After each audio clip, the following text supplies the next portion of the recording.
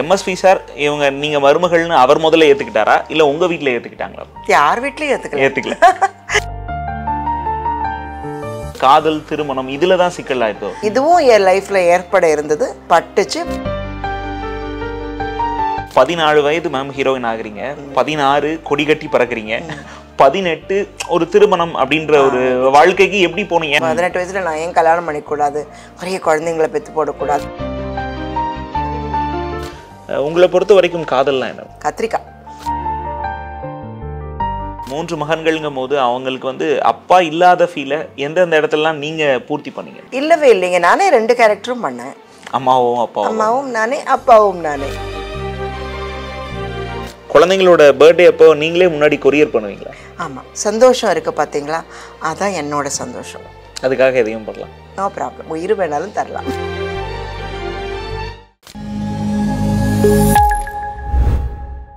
Cinema தொடர்பான நேர்காணல்கள் பலவற்றை நாதஸ் நடத்தி வரும் வேளையில். நானூற்றி ஐம்பதுக்கும் மேற்பட்ட படங்கள் நடித்த Kannada super star Rajkumar super star Rajinikanth உலகநாயகன் கமல்ஹாசன் மோகன் சத்யராஜ் போன்று பலருடன் நடித்த சுலக்ஷனா மேம் நம்மோடு இருக்கிறார். வணக்கம். இந்த கஷ்டங்கள் அப்படின்றது வந்து எங்கேயாவது தொடங்குமாங்க? அப்படி வந்து நடிகைகள் வாழ்க்கைக்கு நடிகைகள் வாழ்க்கை அப்படிங்கும் போது இந்த காதல் திருமணம் இதுல தான் சிக்கல் ஆயிட்டோ அது வந்து நடிகைங்களுக்கு தானா வர கஷ்டம் இல்லைங்க அது. நம்மளா தேடி போற கஷ்டம் அது. நம்ம அந்த கஷ்டோடு நம்ம கிட்ட வந்து நான் உங்ககிட்ட வரட்டுமா உங்ககிட்ட ஃப்ரெண்டா இருக்கட்டுமான்னு கேட்கறது இல்ல ஆனா நாங்க தான் அந்த சேத்துக்குள்ள காலை வச்சுட்டு மாட்டிக்கிறது. மாட்டிக்கிறது. பட் அது கூட நான் என்ன சொல்றேன்னா ப்ராக்டிக்கலா நான் சொல்றது என்னன்னா நம்ம விதி அது. நம்ம அந்த காலகட்டத்துல அதையெல்லாம் அனுபவிக்கணும்னு நமக்கு எழுதியிருக்குன்னா கண்டிப்பா யாராலும் அதை வந்து தவிக்கவும் முடியாது. யாரோட அட்வைஸும் நம்ம தலை வரைக்கும் போகாது ஸோ கடந்து வந்த வாழ்க்கையை விட அதெல்லாம் ஒரு பெரிய டிசாஸ்டரா நான் நினைக்கவே இல்லை. இதுவும் என் லைஃப்ல ஏற்பட இருந்தது. பட்டுச்சு பட்டுட்டு வந்தேன். அவ்வளவுதான். But no comments about anybody. அதான் அந்த உங்களோட இன்டர்வியூஸ் எல்லாத்துலயுமே நேயர்கள் என்ன சொல்றாங்கன்னா பொதுவா இப்படி ஒண்ணு நடந்துச்சுன்னா என்ன பண்ணுவாங்க? மத்தவங்களை குறை சொல்லி பேசுவாங்க. ஆனா நீங்க ஒரு நாளும் இப்படி பேசினது இல்ல அது நடந்து போனதுங்க. நடந்து போனது. பாஸ்ட் இஸ் பாஸ்ட் பாஸ்ட் என்னதான் நீங்க வந்து அதை பத்தி நினைச்சா கூட கொட்டி போன பால் தரையில போனா வீணா போச்சு. அந்த மாதிரி தான் ம், ம். அதனால யாரை பத்தி பேசியோ இப்போ இந்த காலட காலகட்டத்தில் யாரையாவது நான் ஹர்ட் பண்ணேன்னு வச்சுக்கோங்களேன் அது எனக்கு நல்லது இல்லைன்னு நான் நினைக்கிறேன். ஸோ எல்லாமே மறப்போம் மன்னிப்போம். பதினாலு வயது மேம் ஹீரோயின் ஆகுறீங்க. பதினாறு கொடி கட்டி பறக்குறீங்க. பதினெட்டு ஒரு திருமணம் அப்படின்ற ஒரு வாழ்க்கைக்கு எப்படி போனீங்க ஏன் மேம் நம்ம ஒரு கொடி கட்டி பறக்கிற ஹீரோயின் நம்ம இன்னும் பெரிய ஹைட்ஸ்க்கு போகணும் அப்படின்னு நினைப்பாங்க. இல்ல இல்ல. அப்ப நம்ம சைல்ட் மென்டாலிட்டி படி இப்போ உங்க நீங்க வந்து நடிச்சீங்க. பதினாறு வயசு நடிக்க இருந்தப்போ அந்த நடிக்க ரெண்டு மூணு வருஷம் ஆனதுக்கு அப்புறம் அது திருமணம்னு ஒண்ணு இருக்கே. அது பண்ணி பார்த்தா எப்படி இருக்கும்னு ஒரு தோணும். எக்ஸ்பெரிமெண்ட் தான் எல்லாமே. நம்ம வந்து தீக்குள் விரலை வச்சா சுடும். நமக்கு அது முதல்ல நீங்க எல்லாம் சொன்னா நம்ம கேட்க மாட்டோம். நம்மளா விரல்ல வச்சு பார்த்து சுட்டுடுச்சுன்னு நடித்தாதான் உண்டு. ஸோ அப்போ வந்து விபரீத ஆசைகள் தோணும். நம்ம பதினெட்டு வயசுல நான் ஏன் கல்யாணம் பண்ணிக்கூடாது? நிறைய குழந்தைங்களை பெற்று போடக்கூடாது? இந்த மாதிரிலாம் தோணும். அதனால அதை பண்ணேன் எனக்கு என்ன மனசுல எனக்கு தோணுச்சோ அதை தான் நான் பண்ணியிருக்கேன். யாரோட வற்புறுத்தலும் இல்லை யாரோட கைடன்ஸும் இல்லை. இப்போ இந்த காதல் திருமணம் மேம் அந்த இந்த டைம்ல இது மிகப்பெரிய பிரச்சனையாக இருக்குது பல வீடுகளில். அன்னைக்கு வந்து நீங்கள் எவ்வளோ ட்ராஜடியா கல்யாணம் பண்ணீங்க மேம் ட்ராஜடி ஒன்றும் இல்லைங்க. நாங்கள் லவ் பண்ணிகிட்டு இருந்தோம். வீட்டில் அவங்க வீட்லேயும் அப்ஜெக்ட் பண்ணாங்க. எங்கள் வீட்லேயும் அப்ஜெக்ட் பண்ண எல்லார் வீட்டில் யார் ஓகே நீங்கள் கல்யாணம் பண்ணிக்கங்க. உடனே உங்களுக்கு டுவெண்ட்டி ஃபோர் ஹவர்ஸில் கல்யாணம் பண்ணி வைப்போம் நான் சொல்லுவாங்க. அந்த ஸ்ட்ரகிள் இருக்க தான் செய்யுது. நான் டிசைட் பண்ணிக்கிட்டேன் இதை விட இது பெட்டராக இருக்கும் போல் இருக்குன்னு நம்பி நான் கல்யாணம் பண்ணிக்கிட்டேன் ஓகே ஓகே ஓகே ஸ்ட்ரகிள்ஸ் ஸ்ட்ரகிளாக நினச்சாதான் கஷ்டம். ஹாப்பியாக நினச்சிங்கன்னா எதுவுமே கஷ்டம் இல்லை. என்னை பொறுத்தவரை என் காலகட்டத்தில் எந்தெந்த சுச்சுவேஷன் சந்திச்சனோ எதுவுமே நான் நெகட்டிவாக பார்த்ததே இல்லை. Okay okay okay okay I enjoyed pain also I enjoyed my pain that's all இந்த லவ்ங்கும் போது ரெண்டு வீட்லயுமே ஒரு பெயின் இருந்திருக்கும். அது அது அது வேணான்னு மறுத்திருப்பாங்க. அப்படி இருக்கும்போது எம்எஸ்பி சார் இவங்க நீங்க மருமகள்னு அவர் முதல்ல ஏத்துக்கிட்டாரா? இல்ல உங்க வீட்ல ஏத்துக்கிட்டாங்களா? யார் வீட்லையும் ஏற்றுக்கல ஏத்துக்கல. யார் வீட்லையும் ஏற்றுக்கல அவங்க அப்ஜெக்ட் பண்ண பண்ண தான் எங்களுக்குள்ள காதல் வலுப்பட்டதுன்னு சொல்லலாம். யாரு வேண்டாம் செய்யாத செய்யாதுன்னு சொல்கிறப்ப நான் ஏன் இதை செய்யக்கூடாதுன்ற மாதிரி வந்தது. பட் நாங்கள் கல்யாணம் பண்ணிட்டது யாரையுமே ஹர்ட் பண்ணுறதுக்காக நாங்கள் பண்ணிக்கல. We wanted each other we got married அவ்வளோதான் அது கல்யாணம் ஆகி ஒரு ரெண்டு மூணு மாசத்துலயே எல்லாம் சரியாக போயிடுச்சு. என்ன அக்செப்ட் பண்ணிக்கிட்டாங்க. என் லைஃபும் நார்மல் ஆயிடுச்சு. சினிமா ஃபீல்ட்லையுமே மேம் பொதுவாக அந்த இப்போ நம்ம நேர்காணல்லையே மேஜிக் ராதிகா மேம் எடுத்திருந்தோம். அவங்க என்ன சொல்லியிருந்தாங்கன்னா எனக்கு திருமண வாழ்க்கையில வந்து எனக்கு அதுக்கப்புறம் நடிக்க வேணாம்னு என் கணவர் மறுத்துட்டாரு அப்படின்னு சொன்னாங்க. உங்களுக்கு அப்படியானதாக இல்லை? நீங்க கணவர் நடிச்சீங்க. மறுக்கவே இல்லை. இன்னைக்கு இருந்தாலும் கல்யாணம் ஆனதுக்கப்புறம் நானே அவரை கேட்டேன். என்னங்க எல்லாருக்கும் ஃபோன் பண்ணி சொல்லிடலாம்ல? நான் இன்னும் நடிக்க மாட்டேன். நான் வீட்டில் தான் இருக்க போகிறேன் ஜாலியாக ஏதாவது ஏதாவது ஒன்று வேறு ஏதாவது பண்ணலாம். யார் சொன்னாங்க கல்யாணம் பண்ணிட்டா நீங்கள் நடிக்கக்கூடாதுன்னு? அது உங்கள் ப்ரொஃபஷன் அது உங்கள் லைஃப் எனக்கு இருந்தாலும் அவர் என்ன அப்ஜெக்ட் பண்ணதும் இல்லை. நான் அதுக்கப்புறம் தான் டப்பிங் எல்லாம் பண்ண ஆரம்பிச்சது. ஸோ எனக்குமே அவர் வந்து இதை நீ பண்ணாத இதை நீ பண்ணுன்னு எனக்கும் சொன்னதில்லை. அதுவும் கெரியருங்கிறது வந்து அது ஒரு கடவுள் கொடுக்குற கிஃப்ட் அதை நம்ம வந்து பட்டுன்னு தரையில் போட்டு உடைச்சிடக்கூடாது இது நமக்கு ஒரு இன்பார்ன் டேலண்ட் நம்ம கடவுள் கொடுத்த ஒரு வரம். அது நம்ம ஏன் அது வந்து நம்மளால நடிக்க முடியுதுன்னு நம்ம கூப்பிடுறாங்க. இதுவே நடிக்க முடியாதவங்களுக்கு சான்ஸ் வருமா? வராது. அதனால it is not a bad profession okay it is a very very good profession you have a passion towards it நீங்கள் கண்டிப்பாக இந்த ப்ரொஃபஷன் பாசிட்டிவாக ஏற்றுக்கிட்டால் பாசிட்டிவாக தான் இருக்கும். ஓகே இவ்வளவு பக்குவம் நிறைந்த ஒரு கணவராக அந்த விஷயத்துல இந்த விஷயம் சொல்லியிருக்காரு. இப்படி தொடர்ந்து நீங்க பயணிக்கும் போது மேம் என்னதான் பிரச்சனையா இருந்திருக்கும்னு ஒண்ணு இருக்குல்ல மேம் சில பேருக்கு மதம் காரணமாக இருக்கலாம். இல்லவே இல்லைங்க. மதமே இல்லை. நாங்கள் மனுஷங்க அவ்வளோதான் அவ்வளவுதான். I'm a female is a male that's all மதங்கள் எல்லாம் ஒரு கோட்பாடே இல்லை லைஃப்பில் அந்த மாதிரி இருந்திருக்கும். ஆனா இங்க உங்களுக்கு அந்த பிரச்சனைகள் எதுவுமே இல்லை. இல்லவே இல்லை. இல்லவே இல்லை. நான் ரொம்ப adjustable character down to earth. என்ன சொன்னாலும் நான் சொன்ன பேச்சு கேட்பேன் யார் என்ன சொன்னாலும் கேட்பேன் ஈவன் எங்கிட்ட வேலை செய்கிற டச்சப் என்ன சொன்னா ஒரு அட்வைஸ் கொடுத்தா கூட நான் அதை பற்றி யோசிப்பேன். நான் தூக்கி எறிஞ்சு பேச மாட்டேன். யாரையுமே பேச மாட்டேன். That's my nature it happen like that அப்ப பிரிஞ்சது ஒரு இயற்கையின் விதி அந்த மாதிரி ஃபேக்ட்ல எழுதி it has to happen it happen அவ்வளோதான் அப்படிதான் இன்னுமே நான் என் கணவரோட பேசிட்டு தான் இருக்கேன். ஃபோனில் பேசுவேன் விஷ் பண்ணுவேன் பர்த்டே அவங்க எனக்கு விஷ் பண்ணுவாங்க. I am happy with is family also I go and see them. Okay ஏன்னா நாங்கள் ரெண்டு பேரும் பிரிஞ்சிட்டோன்னு இல்லை. We are living our own lives அவ்வளோதான் ஓகே மற்றபடி we don't have any struggle fight no okay உங்களை பொறுத்த வரைக்கும் காதல்லாம் என்ன? கத்திரிக்காய் காதல் just a feel okay it is just a feel in your heart அவ்வளோதான் அவ்வளவுதான். You can live with that thought இப்போ அதை பற்றி நினச்சா நீங்கள் சந்தோஷப்படுவீங்கன்னா அந்த காதலுங்கிற உண உணர்வு உங்களை வந்து ஹாப்பி பண்ணும். That is just a stimulated to your mind nothing else உங்ககிட்ட நான் ஆச்சரியப்படுற அந்த விஷயம் மேம் அந்த விவாகரத்து அப்படின்னு ரெண்டு பேரும் மியூச்சுவலாக முடிவு பண்ணும்போது அவங்க கிட்ட இருந்து உங்க மூணு மகன்களையும் தான் பார்த்துக்கிறதாக முடிவு செய்றீங்க. அஹ், தான் பார்த்துக்கிறோம் அப்படிங்கும் போது அவங்க கிட்ட எந்த ஒரு நஷ்ட ஈடு எதுவுமே கேட்காம நான் வளர்த்துக்கிறேன் என் பசங்களை? நஷ்டப்பட்ட என் வாழ்க்கையை விட ரீப்ளேஸ் பண்ணுறதுக்கு லைஃப்பில் ஒன்றும் இல்லை. அதனால எதுவும் வேணாம்னு எனக்கு எதுவுமே வேண்டாம். என்னால் முடியும் என்னால் என்ன காப்பாற்றிக்க முடியும் என்னை நம்பி இருக்கிற உயிரினங்களை காப்பாற்ற முடியும்னா நான் எதுக்கு ஒருத்தர்கிட்ட எதிர்பார்க்கணும் தேவையில்லை. அந்த மாதிரி என் பசங்களை படிக்க விடாமல் விட்டேனா இல்லை நான் லைஃப்பில் தோல்வி அடையவே இல்லை. என் பசங்களை நான் போராடி படிக்க வச்சேன். நல்ல நிலையில இருக்காங்க இப்போ. வெரி வெல் எஜுகேட்டடாக இருக்காங்க. இது எல்லாமே வந்து நான் நான் ஜெயிச்ச ஒரு சிம்டம் தான். ஸோ நான் இது வரைக்கும் இவங்க கொடுக்கல அவங்க செய்யலைங்கிற எதிர்பார்ப்பு எனக்கு யாருக்கிட்டையும் ஏற்பட்டதில்லை. நம்ம பேசிக்கலாகவே யார்கிட்டயும் இதை ஓவராக எதிர்பார்த்தா தான் நமக்கு ஏமாற்றம். எதிர்பார்க்காம ப்ராக்டிக்கலாக லைஃப் வாழ்ந்தீங்கன்னா எந்த ஏமாற்றமும் இல்லை. இப்போ கூட எத்தனை வருஷம் கழிச்சு யாரை சந்திச்சா கூட என்னால் ஒரு அழகான ஒரு சிரிப்பு சிரிக்க முடியும் அவ்வளோதான். மன்னிப்போம் தான். மறப்போம் மன்னிப்போம். லா நேற்று நடந்ததை பற்றி நான் பேசவே மாட்டேன். நேற்று நடந்தது நேத்தோட முடிஞ்சிருச்சு. இன்னைக்கு இன்னைக்கு இருக்கிறதா இன்னைக்கு.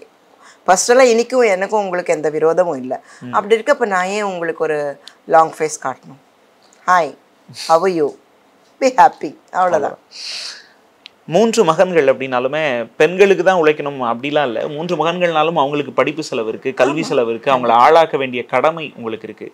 அஹ் எனக்கு உங்ககிட்ட இருந்து கணவர்கிட்ட இருந்து விவகாரத்தை ஆகும்போது உங்க சொத்தெல்லாம் எனக்கு வேணாம். எனக்கு மூன்று மகன்கள் போதும். அவங்கள நல்லா வளர்த்து காட்டுறேன். எனக்கு போதும் போதும். அதை எப்படி முடிவு பண்ணீங்க? ஏன் மைண்ட் செட் அப்படி என்ன ஏஜ் மேம் அப்போ? என்ன ஒரு இருபத்தி மூணு இருபத்தி நாலு வயசு இருக்கும். அப்போ உங்களுக்கு எப்படி மேம் அந்த மனப்பக்குவம்? தனியாக நிற்க முடியுங்கிற நம்பிக்கை தானே? என்ன நான் நம்பினேன்? எல்லாரையும் நம்புறதை விட என் மேலே எனக்கு நம்பிக்கை இருந்தது. அதனால எதுக்கு? யாரையுமே வருத்தப்பட வைக்கக்கூடாது. எந்த விஷயத்துலையும் யாரையும் ஹர்ட் பண்ணக்கூடாது. எனக்கு சாதிச்சிட்டேனே இனி என்ன இருக்குது it is not I am thinking of everything அந்த வருஷத்துக்கு முன்னே நடந்ததில்லை இப்போ நினச்சி பார்த்து பிரயோஜனம் இல்லை. என்னால் அந்த டார்கெட் அடைய முடிஞ்சதில்லை. நான் பண்ணிட்டேன் இல்லையா? என் வேலையை நான் ஒழுங்காக பண்ணி முடிச்சிட்டேன். அந்த டைம்ல மேம் அவங்களுக்கு படிப்பு செலவு அப்படிலாம் இருக்கும்போது ஒரு அந்த டைம்ல தான் ஒரு கேப் இருந்ததோ மேம் தமிழ் சினிமாவில் நீங்க சினிமாவில் நடிக்காத ஆமாம் ஒரு தொண்ணூற்றி ரெண்டுலேருந்து ரெண்டாயிரம் வரைக்கும் எட்டு வருஷம் எட்டு வருஷம். பண்ணல. அப்போ இருந்த சேவிங்ஸ் எல்லாம் எடுத்து எடுத்து எடுத்து எடுத்து அந்த மாதிரி செலவு பண்ண ஆரம்பித்தேன் ரெண்டாயிரத்துக்கு அப்புறம் ஃபைனான்சியல் சுச்சுவேஷன் வந்து பசங்க வளர வளர நமக்கு இன்னும் நிறைய பணம் தேவைப்படுது அவங்கள வளர்க்குறதுக்கு எல்லாத்துக்குமே. So why don't I come back to my work என் தெரிஞ்ச வேலையை நான் செஞ்சால் தப்பு இல்லைன்னு சொல்லி அப்போ சீரியல் என்ட்ரு ஆனதுக்கப்புறம் ஒரு இருபது இருபத்தி நாலு சீரியல் இருபத்தஞ்சு சீரியல் பண்ணிட்டேன். தொடர்ந்து. அது எனக்கு ரொம்ப வருமானத்துக்கு இதாக இருந்தது. ஏன்னா ஒரு சீரியல் ஆரம்பித்தா ஒரு நாலு வருஷம். உங்களுக்கு வேறு எந்த ஒர்க்கும் நீங்கள் பண்ண வேண்டாம். அதை நம்பி நீங்கள் இருக்கலாம். அதை முடியும் தருவாயில் இன்னொரு சீரியல் வந்துச்சுன்னா that will give you mean அது இன்னொரு இன்னொரு ரெண்டு வருஷத்துக்கு அது கோப்பப் ஆயிடும். ஓகே ஓகே ஸோ தைரியமாக ஒர்க் பண்ணேன் இப்போ இந்த விஷயத்துல மேம் ஒரு ஒரு வருஷம் ரெண்டு வருஷம் இல்லாம போறது வேற. எட்டு வருஷம் கழிச்சு நீங்க திருப்பி உள்ள வர்றது எவ்வளோ ஸ்ட்ரகிளா உள்ள வந்தீங்க மேம் அந்த வாய்ப்பு எப்படி கிடைச்சது? ஸ்ட்ரகிளே இல்லை struggle தான். ஒதுங்கிட்டேன். சாரா தான் தேடி அமிச்சார். ஐ மீன் நீங்கள் வந்து ஆஃபீஸில் ஒரு வாட்டி பாருங்கன்னு வந்துட்டு. போய் கேட்டோடனே வேற என்ன கேட்க போறான்னு நடிக்க சொல்லி கேட்கும்போது கொஞ்சம் யோசித்தேன் இவ்வளோ வருஷமா நான் பண்ணலையே. திரும்பி இல்லை இல்லை இந்த ப்ரொஃபஷன் நீ நம்பு. நீ நல்லா இருப்ப. உனக்கு இன்னும் இப்போ பசங்கள் வளர வளர உங்களுக்கு நிறைய கடமைகள் நிறைய கமிட்மெண்ட்ஸ் இருக்கும். ஸோ இந்த ப்ரொஃபஷன் தெரிஞ்ச ப்ரொஃபஷன் பெட்டர் இல்லையான்னு சொல்லி தான் அவர் திரும்பி என்னை ஒர்க் பண்ண சொன்னார். ஓகே ஆனால் ஒர்க் பண்ண தப்பாக தெரியல. அவர் என் என்னைக்கு என்ன அட்வைஸ் பண்ணாரோ இத்தனை வருஷமாக நான் ஒர்க் இருபத்தி நாலு வருஷமாக நான் ஒர்க் பண்ணிட்டு தான் இருக்கேன். இப்போ மூன்று மகன்களும் என்ன பண்றாங்க? ஆஹ் பெரியவர் மர்ச்சன்ட் நேவியில் இருக்கார். கேப்டன் ஆயிட்டாரு. Has Vishnu okay and second son வந்து அவர் ஏரோநாட்டிக்கல் முடிச்சுட்டு லண்டனில் கொஞ்சம் வருஷம் இருந்தார். Now he is working in an IT இதில் ஒர்க் பண்ணிட்டு இருக்காரு ஆல் நைஸ் எஜுகேட்டட் இப்போ தேர்ட் ஒன் இஸ் ஸ்டடிங் இப்போ அவங்களோட அப்பா உங்களை பார்த்து வியக்குறாங்களா இல்லையா? நம்ம கண்டிப்பா வெளியில சொல்லலைனாலும் மனசுல இருக்கும் இல்லையா? கண்டிப்பா. இப்படி ஆளாக்கி காமிச்சிட்டாங்க மூணு பேரையும். ஆமா என் பசங்களோட எதிர்காலம் நல்லா இருந்ததால அவங்க எதிர்காலத்தினால தான் நான் இந்த அளவுக்கு சம்பாதிச்சேன். அவங்க படிக்க முடியுன்ற ஒரு அதிர்ஷ்டம் அவங்களுக்கு இருந்ததால தான் அவங்கள படிக்க வைக்க எனக்கும் அந்த அதிர்ஷ்டம் வந்தது. அப்படிதான் நான் நினைக்கிறேன். இப்போ உங்க கேரக்டர்ஸ்ல மேம் இப்போ பாட்டியே கூட நடிச்சிட்டாங்க நீங்க சொன்னீங்க. ஒரு வில்லியா நடிக்கணும்னு உங்களுக்கு ஏதாவது ஆசை இருக்கா? ரொம்ப ஆசை இருக்குங்க. ஆனா என்ன பார்த்தா வில்லியா யாருக்கும் தெரிய மாட்டேங்குது. என்ன ஒரு நெகட்டிவ் கேரக்டர்ல நான் திட்டி கூட பார்க்க முடியாது. அந்த மாதிரி ரியல் லைஃப்ல நான் யாரையும் ஹர்ட் பண்ண மாட்டேன். அந்த மாதிரி ஒரு அராஜகமா பேச மாட்டேன். வில்லியா நடிச்சா ரொம்ப ஸ்கோப் இருக்கு. ரொம்ப நடிக்கலாம். ஓவரா அழகா ட்ரெஸ் பண்ணிக்கலாம் வில்லியா பண்ண நம்ம பண்ணாத ஒரு கேரக்டர் நம்ம இன்னோசென்ட்டா இருந்துட்டு ஒரு வில்லி கேரக்டர் பண்றது ரொம்ப நல்லா இருக்கும். ஆனா யாருமே எனக்கு அந்த வாய்ப்பு கொடுக்கல. என்னை பார்த்தா அந்த மாதிரி தெரிய மாட்டேன். இந்த நேர்காணல் பார்த்தப்புறம் வாய்ப்பு வரும்னு நினைக்கிறேன். வரலாம் செய்யலாம். செய்யணும். எல்லா கேரக்டரும் செஞ்சு பார்க்கணும். எனக்கு எமோஷனலாக ஒரு கேள்வி மேம் அந்த மூன்று மகன்கள்ங்கும் போது அவங்களுக்கு வந்து அப்பா இல்லாத ஃபீலை எந்தெந்த இடத்துலலாம் நீங்க பூர்த்தி பண்ணீங்க? இல்லவே இல்லைங்க. நானே ரெண்டு கேரக்டரும் பண்ணேன். அம்மாவும் அப்பாவும். அம்மாவும் நானே அப்பாவும் நானே. எனக்கு அதை ரொம்ப மிஸ் பண்ணாதான் நம்ம அதெல்லாம் யோசிக்க தோணும். அந்த லெவலுக்கு மைண்டை எடுத்துட்டு போக கூடாது என்னைக்குமே. திங்க் பண்ண திங்க் பண்ண என்ன சொல்யூஷன் கிடைக்கும்? இதுதான். நாளைக்கும் இதுதான் இன்னைக்கும் இதுதான். நேத்தும் இதான் நடந்தது. ஸோ இதான் நடக்க போகும். உங்களுடைய ஒரு நேர்காணல்ல பார்த்துருந்தேன் மேம் குழந்தைங்களோட பர்த்டே அப்போ நீங்களே முன்னாடி கொரியர் பண்ணுவீங்களா? ஆமா. ம் ம். நான் அந்த மாதிரி சில விஷயங்கள் நான் வந்து யோசிப்பேன். எனக்கு நடக்காத பல விஷயங்கள் அவங்க லைஃப்பில் நடத்தி வச்சு த்ரில்லிங்காக ஆக்கணும்னு சில டைம் நான் நினைப்பேன் நான். அதனால் சின்ன சின்ன விஷயங்கள் அந்த மாதிரி கொரியர் அனுப்புவேன். ஏதோ தடன் சடனாக நான் செஞ்சு நான் செஞ்சது சொல்ல மாட்டேன். அவங்க வந்து சந்தோஷமா அம்மா எனக்கு இது வந்தது. எனக்கு இது கொடுத்தாங்க அது கொடுத்தாங்கன்னு சொல்கிறப்ப அவங்க முகத்தில் தெரியல அந்த சந்தோஷம் இருக்குது பார்த்தீங்களா அதான் என்னோட சந்தோஷம். அதுக்காக எதையும் பண்ணலாம் நோ ப்ராப்ளம் உயிர் வேணாலும் தரலாம். அரசியல் மற்றதுல மட்டும் இல்ல ஒரு குடும்பத்தை நிலைநிறுத்தலையும் நிலைநிறுத்துறதுலையும் ஒரு அயன் லேடி லேடியா இருக்கலாம் அப்படின்ற விஷயம்.